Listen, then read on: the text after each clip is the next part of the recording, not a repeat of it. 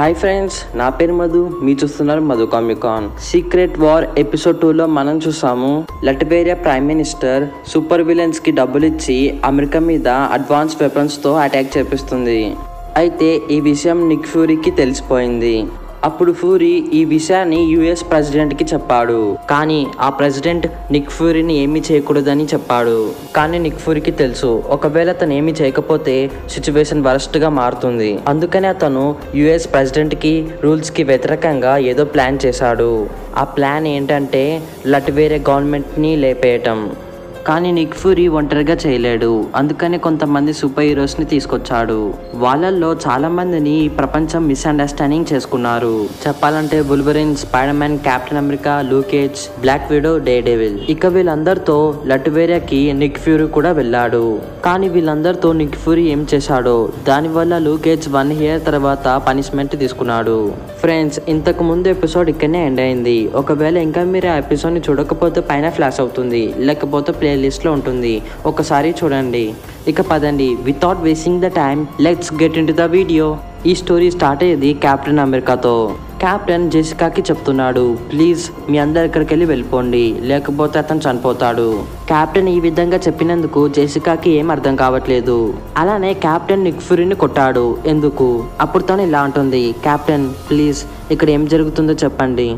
అప్పుడు కెప్టెన్ ఇలా అంటాడు. నేను దాన్ని ఆ పనికే ట్రై చేశాను. అప్పుడు కెప్టెన్ వెళ్ళిపోతాడు. అప్పుడు ఐరన్ ఫిస్ట్ ఇలా అంటాడు. కెప్టెన్కి నిక్ఫూర్కి మధ్యలో ఏమవుతుంది? కెప్టెన్ ఎందుకని కొట్టాడు? నాకేం అర్థం కావట్లేదు. కానీ ఫ్రెండ్స్ జెసికా అర్థం చేసుకుంది. లుకేజ్ మీద అటాక్ కావటానికి కారణం నిక్ అని అర్థం చేసుకుంది. అప్పుడు తను ఇలా అంటుంది. నేను నా లాయర్కి ఫోన్ చేస్తున్నాను.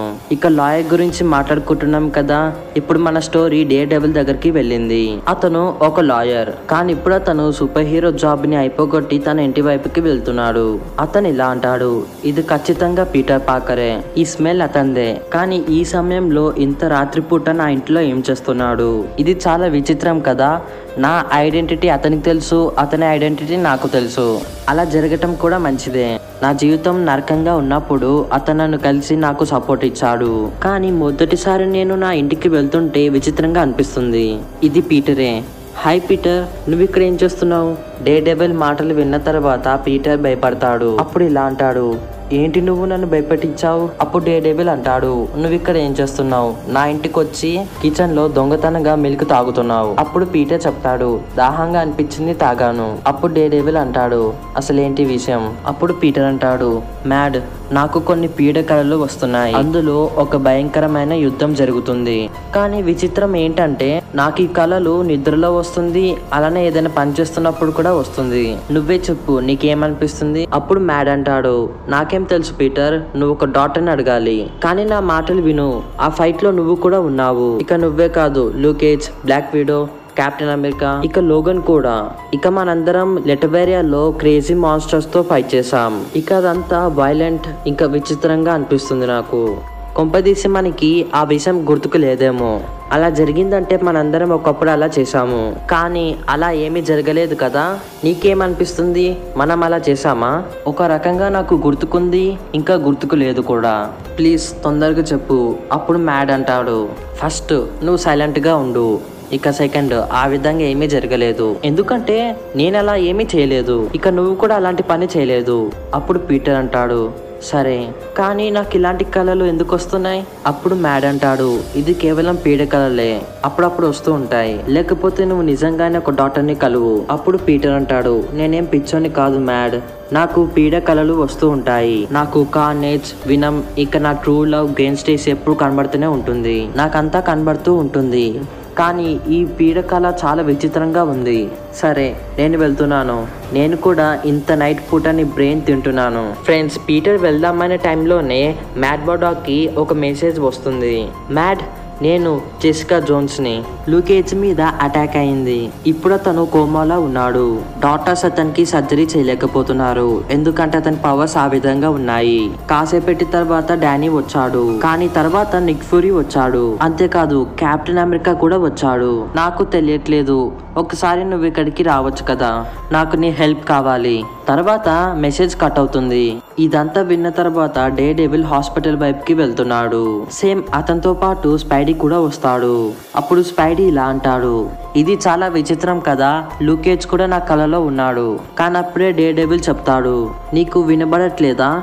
అప్పుడు స్పైడీ అంటాడు ఏంటి? లేదు నాకేం వినపడట్లేదు. అప్పుడు డే డేవిల్ అంటాడు స్పైడీ వెంటనే ఇక్కడ నుంచి వెళ్ళిపోవాలి ఫాస్ట్గా అప్పుడు ఒక పెద్ద బ్లాస్ట్ దాంతో డే డేవిల్ ఇల్లు పేలిపోతుంది. ఇప్పుడు వాళ్ళిద్దరూ పెద్ద ప్రమాదం నుంచి తప్పించుకున్నారు. అప్పుడు స్పైడీ అంటాడు ఇందుకేనా మీ ఇంటికి రావాలంటే అందరూ భయపడేది. ఇప్పుడు నాకు తెలిసింది. అదిగో వాళ్ళిద్దరే అనుకుంటా. చూడు అప్పుడు డే డేవిల్ అంటాడు నాకు కూడా కనబడ్డారు. డే డేవిల్ తన రేడార్ సెన్స్ని యూజ్ చేసి అర్థం చేసుకున్నాడు. వాళ్ళిద్దరు అక్కడికి డే డేవిల్ని చంపడానికి వచ్చారని. అందులో ఒక వ్యక్తి ఇలా అంటాడు. అతను స్పైడర్ మ్యానా కానీ అతను మోర్బా డాగ్తో ఏం చేస్తున్నాడు? ఫ్రెండ్స్ ఇందులో ఒక వ్యక్తి స్కాచర్. అతను స్పైడర్ మ్యాన్కి విలన్. ఇక మరొక అమ్మాయి డైమండ్ బ్యాక్ తను డే డేబుల్కి విలన్. వాళ్ళిద్దరు సీల్డ్ పాత క్రిమినల్స్. అప్పుడు స్కాచర్ అంటాడు చూస్తుంటే స్పైడర్ మ్యాన్ కూడా డే డేబుల్ తోనే చంపేయాలి. కానీ వాళ్ళిద్దరు ఏదైనా చేద్దామనే లోపలనే డే డేబుల్ కొడతాడు. అలా కొట్టినందుకు స్కాచర్ తన రిపల్సర్స్ని ఫుల్ పవర్ని పెట్టాడు. ఈ రోజు అతను డే డేబుల్ని చంపేయబోతున్నాడు. కానీ అప్పుడే స్పైడర్ మ్యాన్ వచ్చి తన వెబ్స్తో స్కాచర్ రిపల్సెస్ని బ్లాక్ చేస్తాడు. అప్పుడు స్పైడీ అంటాడు స్కాచీ ఎలా ఉంది? అయినా కానీ నేను నిన్ను స్కాచీ అని పిలవచ్చు కదా?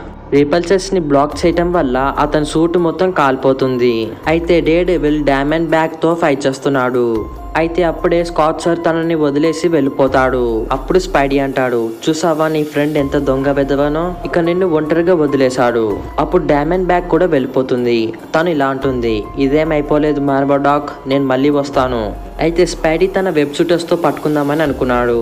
కానీ పట్టుకోలేకపోయాడు. అప్పుడు స్పైడీ అంటాడు తను మళ్ళీ మనతో ఫైట్ వస్తుందా? అప్పుడు డే డేవిల్ అంటాడు కాసేపటి వరకు రాదులే. అప్పుడు స్పైడీ అంటాడు నేను ఇక్కడ ఉండి మంచిదైంది కదా లేకపోతే నువ్వు చనిపోయేవాడివి. అప్పుడు డే డేవిల్ అంటాడు అవును కానీ మనం వెంటనే హాస్పిటల్కి వెళ్ళాలి. ఏదో తప్పు జరుగుతుంది. మరోవైపు కెప్టెన్ అమెరికా నిక్ ఫ్యూరీ బయటకు వచ్చి మాట్లాడుకుంటున్నారు. అప్పుడు ఫ్యూరీ అంటాడు అసలు నీకేమైంది కెప్టెన్ అప్పుడు కెప్టెన్ చెప్తాడు మనం లూకేజ్ని తీసుకొని వెళ్ళిపోవాలి. అప్పుడు నిక్ ఫ్యూరీ మళ్ళీ అంటాడు అసలు నీకేమైంది కెప్టెన్ అప్పుడు కెప్టెన్ చెప్తాడు నేను ఒక మిషన్ చేసి నా ఇంటికి వెళ్తున్నాను. నా ఇంటికి స్టీవ్ రోజెస్ ఇంటికి వెళ్తున్నాను. కానీ ఎవరో నా ఇంటి ముందు నా మీద అటాక్ చేశారు. వాళ్ళు ఆటోబస్ కాబ్లిన్ ఇక వాళ్ళతో ఒక అమ్మాయి కూడా ఉంది. వాళ్ళ ముగ్గురు నన్ను చంపటానికి ట్రై చేశారు. నాకు బాధగా ఏమనిపించిందో తెలుసా? నేను ఆ అమ్మాయిని కొట్టడానికి చెయ్యెత్తాను ఇలా చేసినందుకు నేను ప్రౌడ్గా ఫీల్ కావట్లే ఫ్యూరీ కానీ నేను అలా చేసినందుకు ఆ అమ్మాయి భయపడి పారిపోయింది. నేను సీల్డ్కి చెప్పాను. నా మీద మిస్టియస్ అటాక్ అయిందని. అప్పుడు నాకు తెలిసింది సేమ్ ఇదే విధంగా లూకేజ్ కూడా అయిందని. అతన్ని చూడటానికి నువ్వు ఇక్కడికి వచ్చావు. కానీ ఫ్రెండ్స్ అప్పుడు ఒక వ్యక్తి ఇలా అంటాడు నా ఇంటి మీద కూడా ఇలానే అటాక్ అయింది. ఫ్రెండ్స్ అతను ఇంకెవరో కాదు డే డెవిల్ ఇంకా స్పైడర్ మ్యాన్ అప్పుడు స్పైడీ అంటాడు నా మీద కూడా అటాక్ అయింది. కానీ మ్యాడ్ నాకు ఈ విషయం చెప్పలేదు. అప్పుడు కెప్టెన్ చెప్తాడు నీకు ఇంత దూరం నుంచి నా మాటలు ఎలా వినబడ్డాయి మ్యాడ్ అప్పుడు డే డెవిల్ అంటాడు ఐఎమ్ సారీ కెప్టెన్ నేను అలా చేయాలనుకోలేదు. నాకు తెలిసి డిఫెండర్స్ అందరూ ప్రమాదంలో ఉన్నారు. అప్పుడు కెప్టెన్ చెప్తాడు అవును. నిక్ ఫ్యూరీ వీళ్ళకి నిజం చెప్పు. అప్పుడు స్పైడీ అంటాడు నేను నా ఐడెంటిటీని చాలా దారుణంగా దాచాను కదా ఇందులో నేను ఎలా ఇరుక్కుపోయాను? అప్పుడు కెప్టెన్ చెప్తాడు ఒకవేళ నువ్వు డే డెవిల్తో ఉండకపోతే నువ్వు చనిపోయేవాడివి. అప్పుడు స్పైడీ అంటాడు అంటే ఏంటి? అప్పుడు కెప్టెన్ చెప్తాడు అంటే ఈ రోజు యానివర్సరీ. అప్పుడు డేడేవిల్ అంటాడు దేనికి యానివర్సరీ? అప్పుడు కెప్టెన్ చెప్తాడు మన సీక్రెట్ వార్ది. ఇది విన్న తర్వాత స్పైడీ చాలా షాక్ అవుతాడు. అప్పుడు స్పైడీ అంటాడు యానివర్సరీ ఒక వార్ కా? మీరు జోక్ చేస్తున్నారు కదా యానివర్సరీ పెళ్ళిళ్ళకి చేసుకుంటారు వాళ్ళకి ఫైట్స్కి కాదు మీరు జోక్ చేస్తున్నారు. కానీ డే డేవిల్ చాలా సీరియస్గా ఉన్నాడు. అప్పుడు అతను సిటీని చూస్తాడు. ఏదో తప్పు జరుగుతుంది. డేడేవిల్ చూడలేడు. కానీ అతని సెన్సెస్ చాలా స్పీడ్గా పనిచేస్తాయి. అతను ఒక సిటీ మొత్తంలో ఏం జరుగుతుందో కూడా వినగలడు. అప్పుడు అతను ఇలా అంటాడు మనం ఇక్కడికి వెళ్ళి వెళ్ళిపోవాలి. అప్పుడు కెప్టెన్ చెప్తాడు అసలు ఏమైంది అప్పుడు డే అంటాడు ఏదో తెలియదు కానీ ఏదో మన వైపు వస్తుంది. కెప్టెన్ నువ్వు బ్యాకప్ని పిలవాలనుకుంటే పిలువు ఎందుకంటే మనకి అవసరం వస్తుంది. కెప్టెన్ ఐరన్ మ్యాన్కి ఫోన్ చేస్తాడు టోనీ టోనీ నేను కెప్టెన్ని నేను ప్రమాదంలో ఉన్నాను. ఫ్రెండ్స్ నిక్ ఫ్యూరీ ఏదో సీక్రెట్ కోడ్ చెప్తున్నాడు. Helicarrier this is Nick Fury ఇది level ten situation security code four four మాకు వెంటనే బ్యాకప్ కావాలి. ఫ్రెండ్స్ అందరూ బ్యాకప్ కోసం ఫోన్ చేస్తున్నారు. కానీ స్పైడర్ మ్యాన్ తన మమ్మీని గుర్తు తెచ్చుకుంటున్నాడు. మమ్మీ ఈ రోజు నా పని అయిపోయేటట్టుంది. ఫ్రెండ్స్ స్పైడీ అలా చెప్పిన వెంటనే స్పైడీ ముందల కొన్ని మిసైల్స్ ఇంకా పెద్ద బ్లాస్ట్ అవుతుంది. చూస్తుంటే ఒక పెద్ద ప్రమాదం వచ్చినట్టుగా ఉంది. అప్పుడు కెప్టెన్ చెప్తాడు టీమ్ అసెంబ్ల్ అవ్వండి. ఫ్రెండ్స్ ఇప్పుడు మనం చూస్తున్నాం థర్టీన్ సూపర్ విలన్స్ని. ఆ థర్టీన్ సూపర్ విలన్స్ మన హీరోస్ ముందుకి వచ్చారు. శత్రువులు థర్టీన్ నెంబర్స్ ఉన్నారు. ఇక హీరోస్ నలుగురే ఉన్నారు. మరి వాళ్ళు ఈ సిచ్యువేషన్ని కంట్రోల్ చేయగలరా? ఇక నెక్స్ట్ ఎపిసోడ్లో చూద్దాం. సో ఈ వీడియోకి ఇంతే ఫ్రెండ్స్ ఒకవేళ మీకు ఈ వీడియో నచ్చితే లైక్ చేయండి షేర్ చేయండి. అలానే కొత్తగా వస్తే మన ఛానల్కి సబ్స్క్రైబ్ చేయండి. నేను చూస్తాను. ఈ వీడియోకి ఎన్ని అవెంజర్స్ లైక్స్ వస్తాయి. ఇక న్యూ అప్డేట్స్ కోసం టెలిగ్రామ్లో ఇన్స్టాగ్రామ్లో ఫాలో కండి. Thanks for watching. Signing off, Madhu. I am conflicted, watching where I step still, hanging in the balance, not the life I want to live.